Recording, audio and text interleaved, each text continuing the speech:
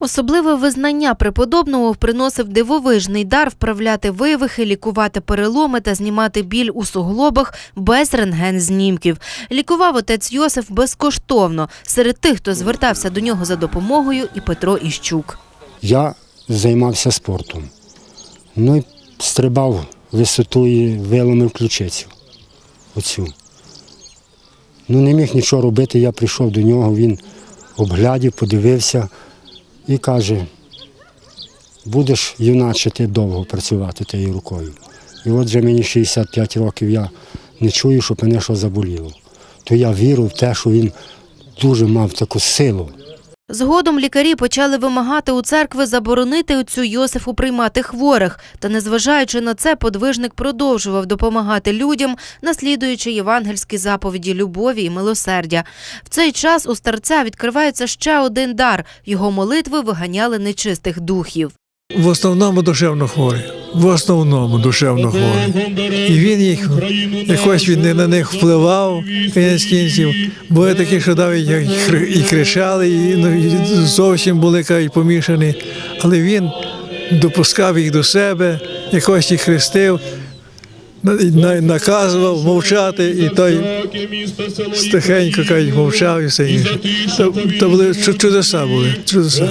Після Другої світової війни потік людей до святого став таким, що влада скасувала автобусне сполучення із Малою Іловицею, де жив Амфілохій.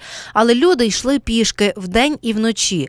Пані Ганна розповідає про свого чоловіка. Він юнаком мав глибокі рани на обличчі. Медики у допомозі відмовили. За лікування взявся отець Йосиф, і чоловік одужав.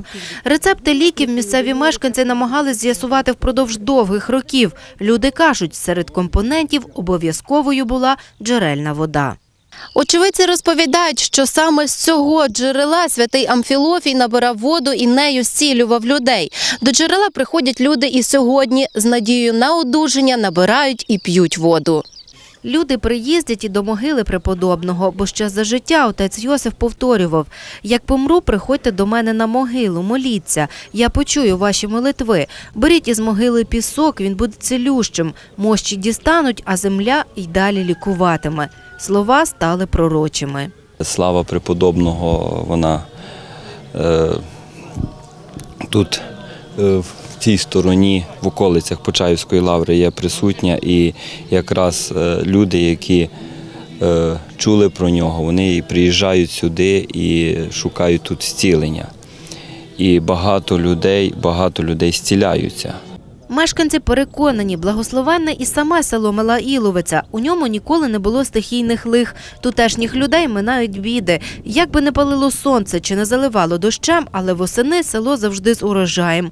Це люди також вважають чудом, що його творить святий Амфілохій.